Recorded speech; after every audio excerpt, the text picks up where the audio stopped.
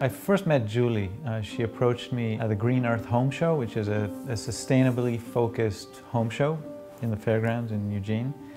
And uh, she came and she had her little notebook. She always carries a notebook.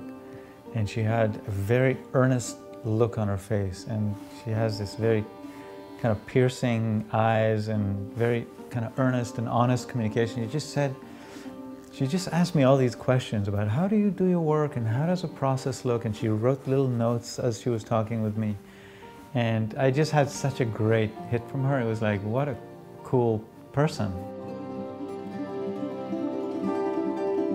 And I knew immediately that this was the man that would be designing our home.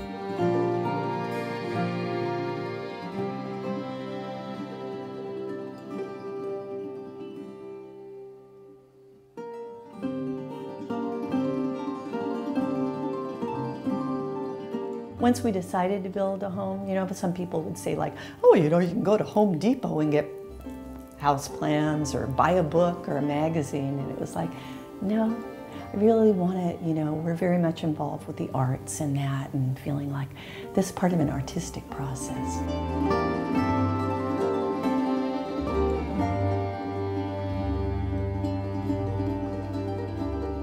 We looked to make sure that this uh, design and home would fit in with our natural surroundings. We not only spend a lot of time outside, but the sensibilities of the Pacific Northwest, there's a, a, real continuity between wood and materials and the natural environment, and we wanted to have aspects that connected the interior of the building with the uh, outside or natural world.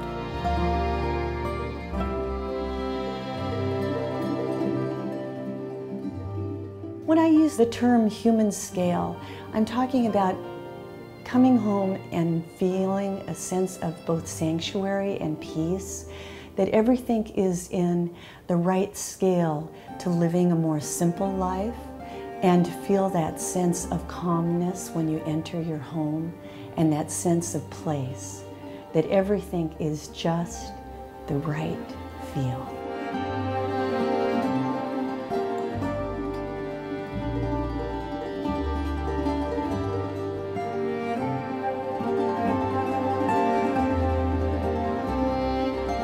Julie and Rob's needs are very um, driven by awareness and awareness um, of, of how to live in an appropriate manner.